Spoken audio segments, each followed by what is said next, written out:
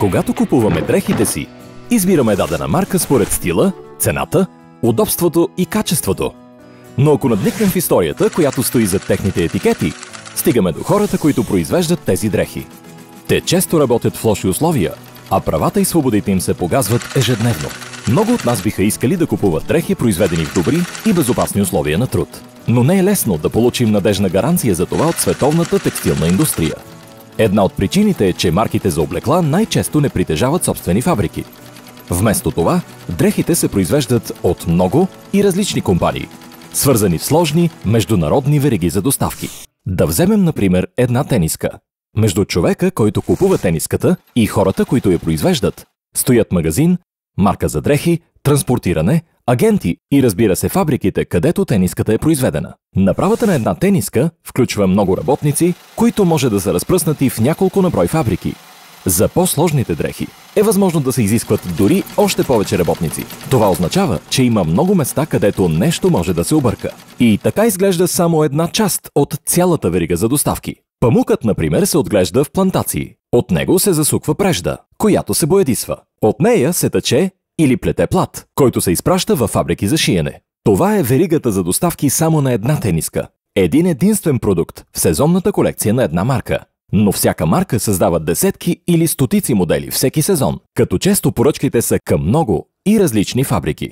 В същото време, всяка фабрика може да произвежда дрехи за десетки различни марки. Крайният резултат е плетеница от разнородни и объркани вериги за доставка. В такава сложна система, откъде изобщо да започнем, за да се уверим, че хората, които произвеждат дрехите, получават справедливо отношение? Е, Fairwear Foundation се фокусира именно върху тези части от веригата за доставки, в които се произвеждат дрехите. Много нарушения в правата на труда се случват в шивашките фабрики. И тъй като шиенето е доста тежък труд, това включва много работници. В своята същност, работата на Fairwear Foundation се основава на 8 трудови стандарта, базирани на принципите на Обединените нации и обхващащи основните човешки права на работниците. Работата е свободно избрана, т.е. не е по принуда и не е свързана с насилие. Няма дискриминация и не се използва детски труд. Спазват се правата на работниците за сдружаване и колективно трудово договаряне. Заплащането е достатъчно за препитание. Броят на работните часове е приемлив. Работната среда е здравословна и безопасна и са на лице правно обвързващи трудови правоотношения. Тоест справедлив и легален договор. И как работят тези трудови стандарти на практика? Понякога доста директно. Например, когато аварийните изходи са заключени, за да не могат работниците да излизат в почивка или да крадат дрехи, заключените изходи са съвсем явно нарушение на стандарта за безопасност и здраве и сравнително лесен проблем за решаване. В повечето случаи обаче нарушенията са взаимно свързани и причините се коренят на места, върху които фабриката не може да въздейства. Например, много често срещан проблем са прекомерните извънредни часове. В много фабрики за дрехи хората работят до 16 часа на ден, 6 или 7 дни в седмицата. Това прави над 100 часа седмично, понякога в продължение на месеци. Нека помислим какви са последиците.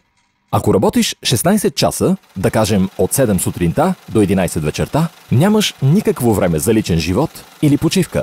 Нямаш дори достатъчно време за сън. Дългите часове влияят и върху качеството на работа, а също така и върху безопасността. Най-много инциденти на работното място се случват по време на извънредни часове, когато работниците са уморени. Тогава защо хората работят толкова дълго? Понякога на работниците дори не е позволено да се приберат от дома. Почти винаги заплатите са толкова ниски, че без извънредна работа работниците не биха могли да си позволят място за живеене, достатъчно храна и задоволяване на други основни нужди. Така че, независимо от факта, че прекомерното количество извънредни часове е опасно и намалява качеството на изделията, фабриките са притиснати да произвеждат дрехите бързо. Ако ли не, ще загубят бизнеса, а работниците – работата си. Марките за дрехи възлагат кратки срокове за изпълнение на поръчките, променят ги в последната минута и плащат много под реалната стойност на услугата, като по този начин оказват огромен натиск върху заплатите и работното време.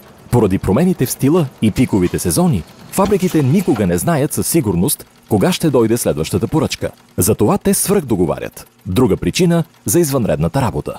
Невъзможността да се предвидят поръчките означава и че на работниците е отказан договор или сигурна работа. Така че многото извънредна работа е свързана с заплащането, договорите, здравето и безопасността, както и с начина по който марките осъществяват своята търговска дейност. Стандартите на труд са свързани и по още много други начини. Ключов проблем е заплащането да бъде достатъчно за препитание, тъй като може да рефлектира, например, върху детския труд.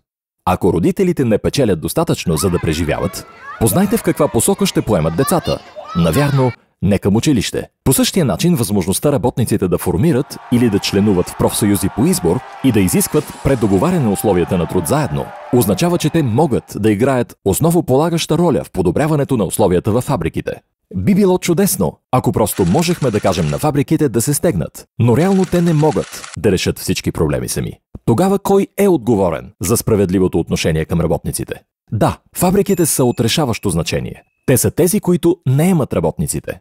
Но марките също имат важна роля. Наред с изискванията за качество и цена, те могат също така да призоват и към нормални условия на работа. Освен това, марките биха могли да влияят много позитивно върху условията на работа, като заплащат справедливо, дават приемливи срокове за доставка и като осигуряват сигурност на фабриките за бъдещи поръчки. Fairware Foundation работи на множество нива. Ние проверяваме условията във фабриките в страните производителки. Но също така наблюдаваме и начина по който марките в Европа извършват търговска дейност с фабриките. Fairware Foundation работи и с профсъюзи, работнически и женски съюзи, бизнес асоциации, правителства и сдружения на потребителите, както в държавите производителки, така и в Европа, с цел да намери устойчиви във времето решения. Самите работници могат да подадат жалба директно на Fairware Foundation. Fairware Foundation докладва публично производителността на марките, напредъка във фабриките, както и жалбите от работници. И тук си ти на ход. Публичните доклади позволяват на потребителите да видят какво се крие зад етикета и да вземат информирано решение за това какви дрехи да си купят. Ако искаш да научиш повече, посети fairwear.org, където можеш да провериш с кои марки работим и да създадеш списък за пазаруване от членове на Fairwear Foundation, които продават продукти в твоята държава.